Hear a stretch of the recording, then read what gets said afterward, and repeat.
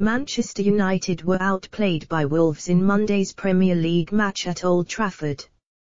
Manchester United boss Ralf Rangnick is aware players are unhappy at Old Trafford but doesn't want to trim his squad down too much, according to reports. Donny van der Beek is one star who is eyeing a move away from the club now the January transfer window is open. However, it's Rangnick who will ultimately have the final say when it comes to the Netherlands international and his future. Manchester United's season stooped to a new low on Monday as Wolves beat them 1-0 at Old Trafford courtesy of João Moutinho's strike.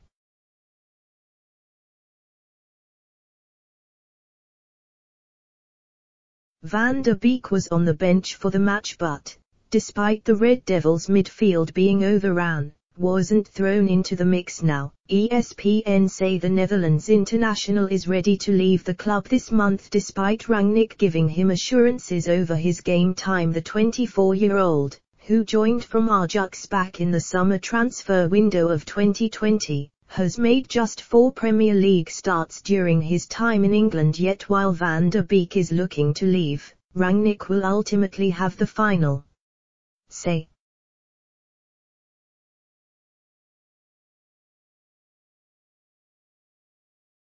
That means there's a genuine chance the former Ajax star will stay, even if links to Everton, Juventus and Barcelona have arisen over the past few months. Rangnick is supposedly aware that some of his players are unhappy at the club yet he doesn't want to lose too many in the January transfer window, especially with so much of the season left to play as well as Van der Beek. Several other players could leave United in the coming weeks and months ahead. Anthony Martial is keen to depart, with the France international struggling for action since Cristiano Ronaldo's return to the club.